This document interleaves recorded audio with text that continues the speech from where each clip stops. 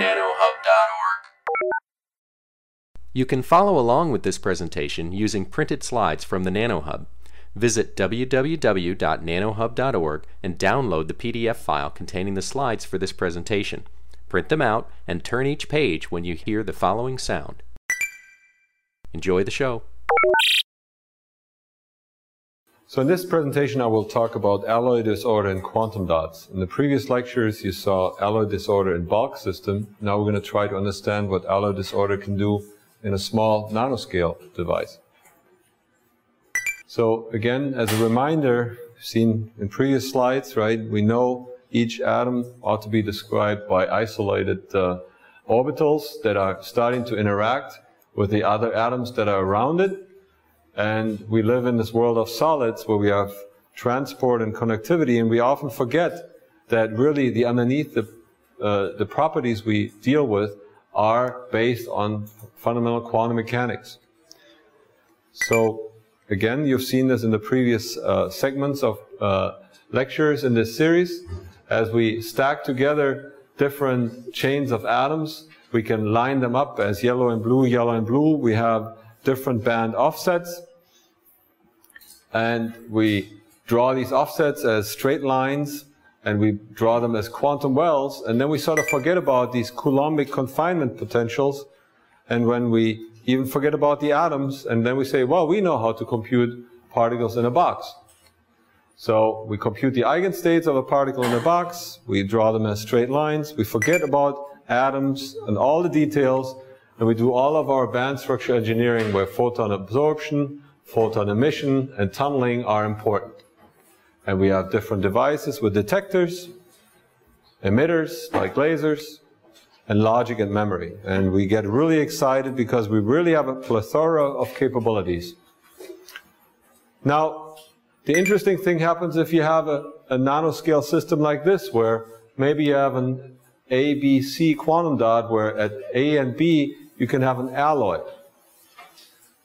And we can have compositional alloys where we engineer the dot size and the energy spectrum, and we engineer the confinement potential, and we do an atomistic simulation where we can include this explicitly.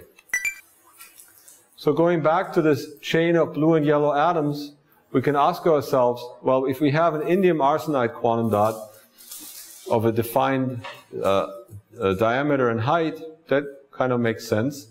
And we can calculate a typical ground state.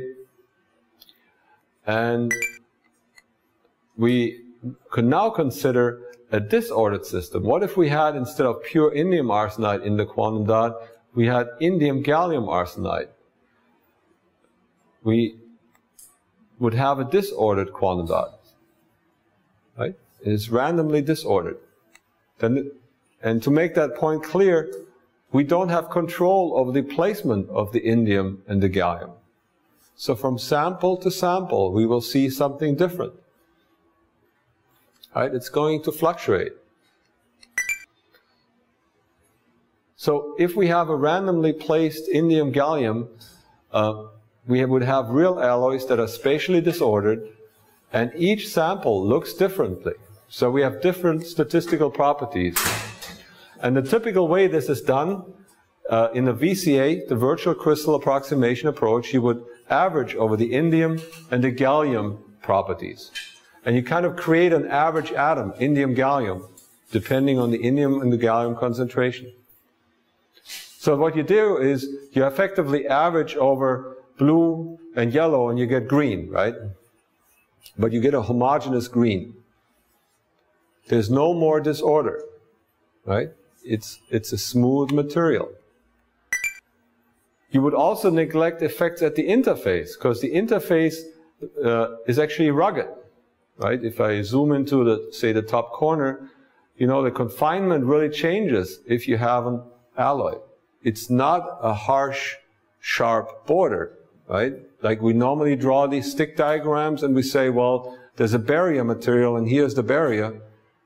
That barrier is not vertical, right? It's actually distributed in space. Okay? So that may matter. And if we just do a virtual crystal approximation, we forget about all of that, right? We suddenly have an almost step-like interface. it's still atomistic. It's not exactly a straight line, right? It goes by, by atom to atom, but it's at least smooth.